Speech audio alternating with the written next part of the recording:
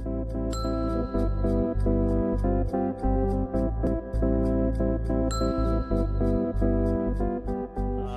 so this is jobs and unemployment in the new uh, QEMU economy. Uh, I'm John Snow. I'm a software engineer with Red Hat. I work for the uh, block layer and the virtualization team in uh, Westford, if it matters to you. But yeah, let's go for it.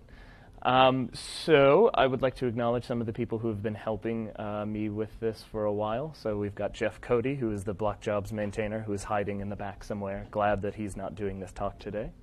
Uh, Markus Armbruster, who has uh, been reworking the uh, QAPI upstream for the last year or more, um, and uh, Eric, who has been uh, doing the other half of that work. Um, they've been giving me lots of reviews and feedback.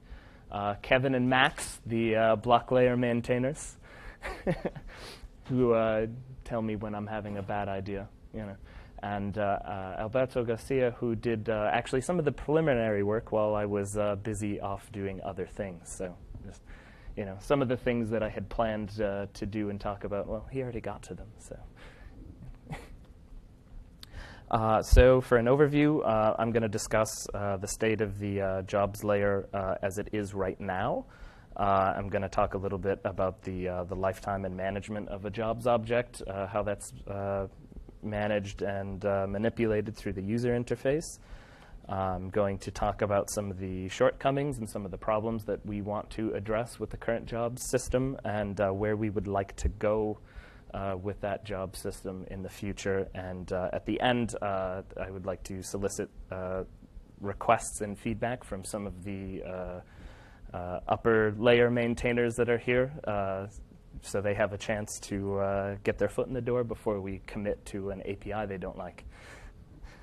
Anyway, so uh, so uh, here's jobs as they exist uh, in in 2.7 right now, uh, which is not just out yet, but. Uh, so a job is a long-running uh, task, more or less. They exist with uh, their user visible uh, persistent objects. So it's not just an in memory object that developers care about, it's something that the upper management layers ca care about as well. Um, they're user manipulable, by which I mean, you know, libvirt as a user. Um, you can pause, resume, cancel, change options, etc. Um, these objects are all created via uh, the QMP interface, which, if you're not familiar, is the, the plain text JSON interface for, for manipulating uh, QEMU. Um, and they, you, they're all manipulated and queried via this QMP interface. Um, they are inherently asynchronous. Uh, they can complete or fail asynchronously. They do not block uh, the, uh, the, the command protocol. They uh, you can issue as many as you would like up to a certain point. Uh, there's restrictions on that, which I'll get to later. Um, you do not need to poll or busy wait on them. They will notify you when they are done or have failed. Um, they are usually self-terminating, which I will get to later, but in most cases, once the task is finished, the job will handle cleaning itself up and uh, finishing what it needs to. Um, the jobs that we have today, uh, they're used for either tasks that will take an absurdly long time, so we can't busy wait before we tell you if we've uh, succeeded or failed, um, or tasks that have uh, we don't know in advance how long they will take. Uh, so this is particularly well suited at the moment for storage tasks because we never have any idea what to accept from the, the speed of that layer. And uh, just in general, it's usually uh, large volumes of uh, uh, operations we need to do. So tasks are well suited, or jobs are well suited for that kind of a task. Um, so these are the jobs we have right now. I'm going to try to go through them quickly because Kashyap has already covered them yesterday, and Max is going to cover the uh, backup and uh, mirroring in a greater detail later. Oh, well, but I'll go through quickly just so you have an idea of what I'm talking about when we talk about jobs uh, in QEMU. Um, there, there's four core types. Um, they have some of them multiple interfaces, and some of them have multiple uh, subtasks they can accomplish uh, based on the parameters you give them. But at the heart of QEMU, they're implemented in four types, and we only expose four types through the QAPI uh, schema.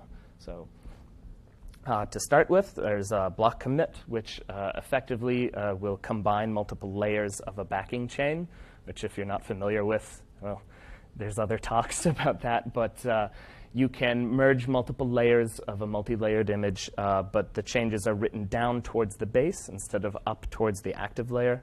Um, this asynchronously happens during uh, reads, writes, etc. Um, Eric Blake gave a really good talk on this uh, last year and great and excruciating detail. Uh, Kashyap uh, went over uh, some of this yesterday, I believe. Um, so if you were interested in knowing more details than what I'm about to cover, you can find that info. Um, but it's basically something like this, where you have an active layer, maybe some intermediate layers, and a base. And uh, commit is going to take uh, an arbitrary number of the, the top layers, and you can uh, squish it down into a, a, top layer to save on some of the space and rewrites and such uh, while the VM is running. Um, after the commit is finished, the top layers are uh, no longer uh, needed. Uh, you know, they are not deleted automatically for you, but you can. Um, uh, they can be safely removed. Um, block stream, uh, it's the exact opposite, or not quite the exact opposite, but close enough, uh, where it, it also combines layers of an image, but they're written up towards the active layer instead of down towards the base. Um, this also happens as asynchronously while the VM is running. And again, uh, the same talks if you want more detailed information about usage requirements and so on. um, so similar kind of deal, just going the other direction. We're going to pull changes up towards the top. And then afterwards, you don't need the backing files anymore. Uh, can increase uh, performance and things like that, uh, so you don't have to go quite as far down the chain and save on storage space, etc. Uh, block mirror uh, is a copy operation, essentially. It has uh, multiple uh, modes, full, top, and none. full is what you'd expect. You make a complete mirror of the device as it's seen. Top is a mirror of just the top portion or uh, none uh, will just mirror new writes. Uh, mirror works in two phases. There's a pre-synchronized phase and a post-synchronized phase. So when it starts, it begins copying all the existing data plus new writes. And as it goes, once it has finished its backlog of uh, things it needs to copy, it enters a synchronized state where it just mirrors new writes from then forward. Um, for performance information, uh, it doesn't actually copy the uh, the existing writes at the same time as new ones are copying. It's uh, interleaved in one loop. Uh, so uh, it's, it's not necessarily running in a, in a multi-threaded way in that sense, but it is doing both at the same time in the same queue. Um, it can run indefinitely upon reaching parity. So once it has finished copying all the backlog. The job is not going to complete like the others. It's just going to continue running uh, forever and ever until you tell it to stop. Um, and again, same, same usual talks uh, for more explicit information on how that works. Um, but essentially, you'd have something like a, a, device model that is backed by a QCOW2 chain. And if you wanted to do like a full sync of uh, exactly the data as the guests see it, you'd use sync full. Um, you would begin writing uh, the existing information from the top layer to the copy. And at the same time, as new writes come in, those are also queued up for both uh, layers. The graph is a little misleading. It's not actually uh, writing the data twice and copying simultaneously, but effectively that's what ha is happening from the old chain to the new while new writes come in at the same time. Um, once we've reached parity, uh, it stops copying uh, the old information and it's just writing uh, twice from then on. And it will stay in this state until you tell it to complete manually. Um, and upon completion, uh, QEMU will actually pivot to using the, the new information instead of the old information. And the old chain will be uh, uh, removed from QEMU's uh, active graph list. Um, block backup, very similar to Mirror. Um, it's, it uses the same modes as Mirror. You can use full, top, none. Um, but it doesn't have a synchronous phase. Once it completes, it's done. It's finished. Um, it doesn't pivot to the backup like Mirror does. Um, and as a, a, point that Eric always likes to point out, it has a different point in time for the snapshot as, uh, as Mirror does, where Mirror, uh, the point in time of the copy you get with Mirror is when you complete the job. But with uh, Backup, the point in time is going to be at the job start. Uh, which means that performance-wise it behaves a little bit differently in that new writes are not copied over to the new uh, destination as you're going. So uh, when a write comes in, uh, QEMU actually has to halt that write, uh, write the data out quickly before it finishes, and then resume doing what it was. So possible performance hit there, but um, there is a, a fourth backup mode for this one, incremental backups, which I covered in maybe too much detail last year. And you can go check that out if you wanted to see how that one worked. Um, but here's just a, a, very simple case, again, of how this one's going to work. Um, as writes come in, we're going to uh, copy from, from top to backup, and uh, new writes are going to come into top, but we're not going to copy them also over to the backup as we go. So that's the, the main difference between mirror, uh, and there's no uh, pivot at the end. Um, so I'm going to cover some of the, uh, the QMP interfaces for creating and managing jobs as they exist right now. Um, so they are managed entirely by QMP. Um, and if you want to check out the uh, event uh, notification uh, spec, we do have documentation on that, so you can get a more complete view of that. Um, so this is the workflow for a job. Uh, Every job that is uh, created via the QMP interface will immediately enter the running or busy state. There's no explicit start command at the moment. Um, so once the job is running, you can pause or resume it, which is on the lower left there. Um, a busy job may become ready in the case of, for instance, a block mirror that needs to uh, announce to you that it is in the uh, synchronous phase. Um, and then a busy or a ready job uh, may enter either the canceled or completed phases through uh, a manual cancellation, uh, or uh, if the job finishes successfully, it will enter the completed state. And then uh, after that happens, unceremoniously, the object is uh, deleted with no further interference from the user. So there is no uh, central block job create command. All of the jobs are created through their own front end commands. So we have explicit top level commands for uh, uh, commit, stream, backup, and mirror. Um, jobs are started automatically, as I said. And uh, historically, uh, the job ID has been that of the, the related device that we were interfacing with in the block layer, and there was no explicit ID given, but that's some of uh, what Alberto has been changing recently. Um, so you can actually now give it an ID, but uh, some of the uh, other commands don't uh, know what to do with the ID just yet, but it's something we're working on changing. Um, so just a quick example of creation. Uh, you would give a command, for instance, drive backup. Like I said, there's no unified uh, job create command. And you will get a return that tells you almost precisely nothing. But afterwards, there will be a job that you can query. So um, talk about events really briefly. Um, block job canceled. Yes, there's two L's. That's fine in Canada, maybe not America. Who knows? But yes, it is two L's in case you try to use this slide to implement something and you yell at me when you fix the typo. Uh, so it goes. Um, so block job canceled, fairly self-explanatory. If the user cancels the job, you get that event. Uh, block job completed, which is not indicative of actual success. The event will tell you if there was an error or not. Completed is uh, also delivered when you get an error. Uh, block job error only comes when you get an error, and block job ready is the event that you will receive, for instance, for mirror when it has reached the synchronous phase. Uh, here's an example of the, uh, of the query. It tells you a few interesting things, uh, but not that interesting. It's OK. Um, for pausing, if you need to pause back and forth, uh, you can just see that the busy state has changed to false and paused to true, fairly self-explanatory. Resuming, opposite effect, not, uh, not too spooky.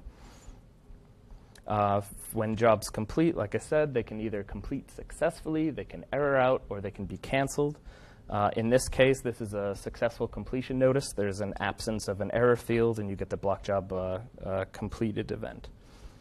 Uh, for the error case, you can see that we actually do get two full events. You get the block job error event, so you know something has gone terribly wrong, and the block job completed event, though you may be hoping that that's telling you your job is completed successfully. We have an error field this time letting us know that uh, things did not go according to plan. And in the last case, uh, when the job is canceled, yeah, you get a fairly self-explanatory uh, uh canceled event. Um, the mirror job, for instance, uh, has the ability to complete slightly differently. It's going to announce to you with the ready command, or the ready event, excuse me. Um, and when you uh, want to complete the job, when you're done, you don't want it to start, uh, you want it to stop mirroring the writes from here on out. You can uh, give it the uh, complete command and you will get a return there. Um, and after that return, you will also receive the other standard events uh, for completion. Um, so uh, I would like to talk a little bit about some of the uh, problems. Uh, they're not really problems, but some of the feature uh, uh, deficits, I guess, with jobs as they exist now.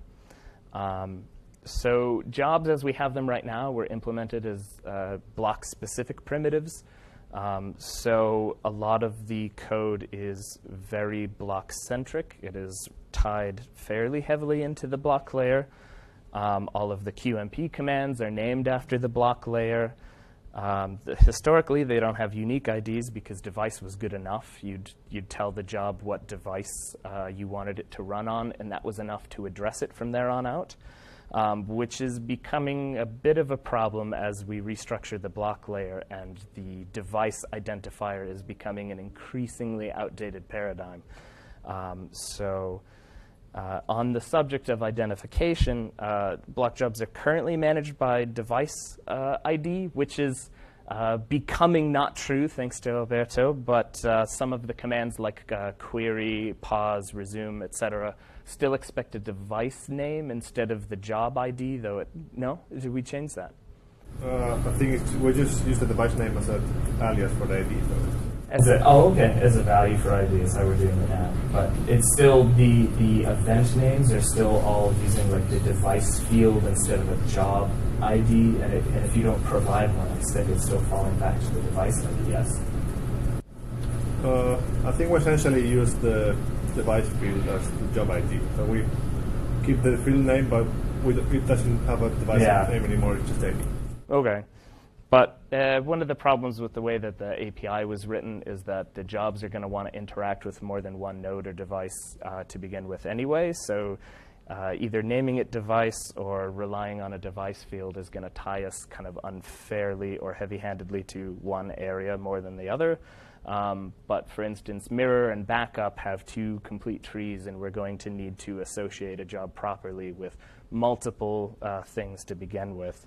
Um, so for instance, when a job pivots on their focal device, it kind of changed the association that the management layer may have thought it had, and you are kind of uh, stuck uh, referencing it the same way as when it was created. Uh, so it's a little iffy there.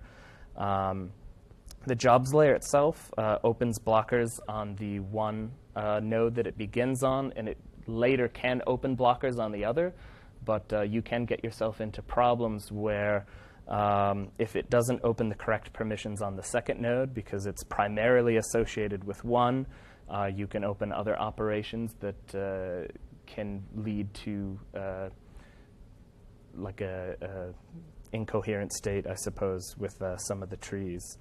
Um, you're only allowed uh, one job per device at the moment, kind of. Uh, the blockers we have right now are very restrictive. Um, so jobs are very heavy-handed, and they like to claim almost exclusive control of the device they're working on. Um, and in part, uh, we would really like to open this up for multiple job support uh, so that you can be able to read from multiple nodes that may have shared uh, common nodes in the graph. Um, so uh, to enable uh, much more uh, concurrent throughput, we would like to be able to do multiple jobs. Um, so again, at the moment, the jobs kind of take more locks than they need, and in other cases, they don't take quite as many as they should. We want to increase the parallelism. Um, there's nothing strictly that's preventing us from reading from multiple places in the, in the graph uh, at the moment, other than we haven't done it yet. Um, so the new op blockers will help in part uh, with a more fine-grained control system. Um, but if we refactor the uh, QAPI at the same time, we can get a new jobs interface uh, that should be a little easier to use and allow better management across uh, multiple uh, graphs. Um, and I would like to talk a little bit um, about uh, coroutines. Uh, so jobs are implemented using a QEMU primitive known as our coroutine layer. Um, and it's a really powerful uh, interface for uh, managing these uh, tasks at the uh, management layer, but at the moment it's only for the block layer. Um, so it would be nice if we could add multi, multi-jobs, but while we're at it, uh, as we change the interface a little uh, bit, we can bring this abstraction to the rest of QEMU for other subsystems to use so that they can have this nice asynchronous runtime system that's already fairly well understood in kind of the, the rest of the system. Um, and if you would like to know more about how coroutines are implemented themselves, uh, Jeff Cody has a talk tomorrow that's going to go uh, a bit more detail about how those work, um, kind of on the lower end, uh, and that should be good. Uh, so, as mentioned, uh, we, we need a bit of a new API, or at least an API rework to be able to do multi-jobs. So let's bring coroutines to the rest of QEMU. Um, it's, a, it's a good abstraction for tasks, or I should say that a, a, a, generic jobs interface would be a better abstraction than the current block-specific one we have. Uh, something would be uh, simple to manage and query for uh, all of QEMU. Um, and it's already very well understood because it's in use by libvirt. Um, so just simply, I'm going to chop off the block prefix to all of these commands. Um, so it's going to have a similar uh, uh, workflow as jobs already do. Uh, so we'll have the same cancel, pause, resume, complete, query. Um, the only change that might be slightly interesting is where we have a very specific set speed command right now. We want to replace with a generic set option so that different subsystems and different jobs can have a more generic uh, option setting interface for the rest of it. Um, set speed uh, may be useful for others, but it's hard to predict uh, in the future if we open up coroutines to the rest of QEMU what they will want, so we can have a slightly more generic uh, edit primitive uh, for commands on that. Um, similarly, for events, uh, just chop the, the block prefix off. Um, I did want to talk about uh, a started event. Um, at the moment, events start automatically, but there are a few cases where it may be a problem that jobs start immediately. And I would like to add the ability to manually start a job after creation. Uh, where this can come up is in transactional uh, phases where you want to queue up, for instance, five different jobs, but you want to make sure that they're all going to work uh, the way you want before you start any of them. But uh, the way jobs work now is they begin running as soon as you issue the command, and then they yield, uh, which can get you into slightly uh, out of out of sync states if uh, some of the jobs finish before the others are even queued up to start. So.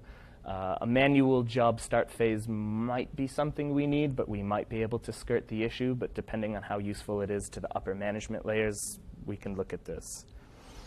Um, but even though I want to rename everything, uh, the legacy interface, of course, needs to stay put. So we have uh, older libvirt and et cetera that can still use it. Um, but if you try to use the new API, the old API should return an error immediately so that there's no mixed usage. Uh, this should allow us to give a fairly clean uh, ability to support the old interface while kind of having a bit of a compatibility break with the new system.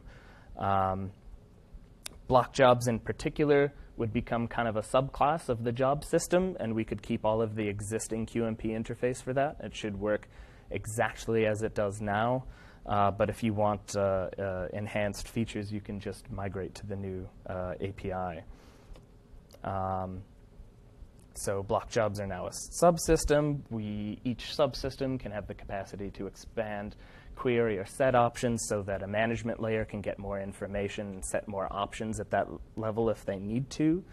Um, and the basic premise here is that other subsystems may wish to use coroutines.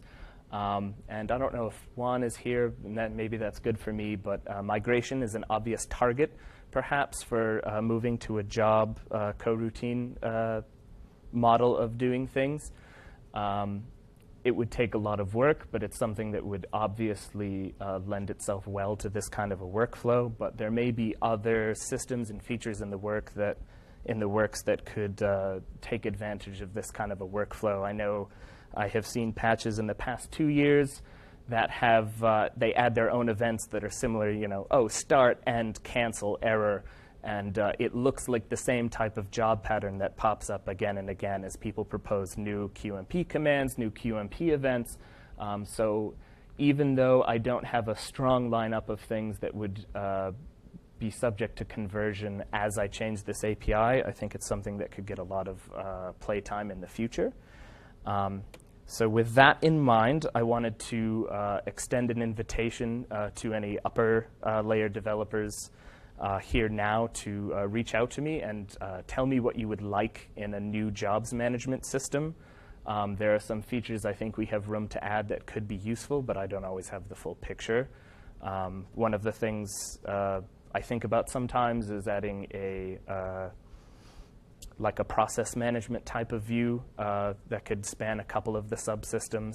Uh, so you could see what's taking uh, I/O, uh, what's using up the I/O, CPU, memory, etc. And I think uh, an expanded job system could lend itself well to that sort of a thing for for querying by upper layer debug or investigative tools, but. Um, I am at the end, so if anybody has questions or requests, I think we have a few minutes, so you can yell at me if you would like. Yeah. How um, tied are the uh, the block job concept to coroutines? So thinking about the migration example, mm-hmm. migration already uses a, a, full OS thread. It's like I'm not sure what the compelling mm-hmm. reason to use coroutines there is particularly with uh, post copy, we might actually end up having multiple threads right. okay, running fair. with migration. So I'm just wondering how. Um, so at the moment, jobs are fairly well tied to coroutines. It's basically their their reason to exist as a front end to that. So if, if migration has strong reasons that it can't, maybe it's a non-starter. But uh, we, I'm, I'm, not committed to converting migration. It was uh, it's a thought that's come up a few times, but I have not personally sure. delved deeply into that. And just on on the, um, you, you, mentioned the possibility of a started event that could that could fit in with migration, um, because when you, you you trigger the, the start of the migration, you have the, the connection phase where you have to establish the TCP connection, and that may or may not succeed. Right, and right. then logically the, the job starts once you've got the right, right. Yeah, it's up. it's it's really the workflow from the user management perspective is the most similar thing, and maybe the back end isn't going to work out, but uh, perhaps there's something that we can do to uh, help uh, unify the events a little bit, perhaps, but we can look. I think that there is quite natural candidate for new transaction. Uh, we could think about save VM and load VM, which is a bit forgotten.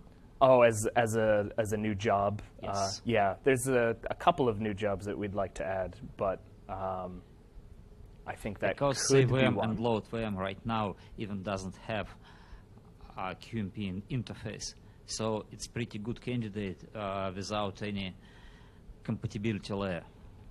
But you need, uh, I think, for save VM and load VM, you want kind of that uh, point-in-time snapshot functionality for more than just the block layer, right? Like you memory yes. block everything full state. Okay, yeah, but that's another thing that lends itself to this kind of a workflow.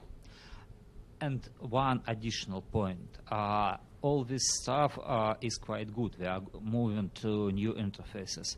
But I think uh, that there, are, there is a lot of homework which should be done to allow uh, block jobs works better because right now I do know that we are slow, unreliable, waste disk space, and could not finish uh, in reasonable amount of time if they have to, if they have asked this block job to finish. Yeah. Um, so I was trying to look more at the uh, the interface of it, but if uh, we need to improve the block jobs themselves, I mean, I'm more than amenable to making sure that happens, of course.